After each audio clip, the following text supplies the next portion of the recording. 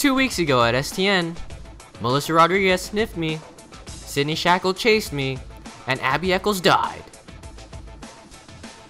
Austin Hill went to sleep and woke up as a Mexican.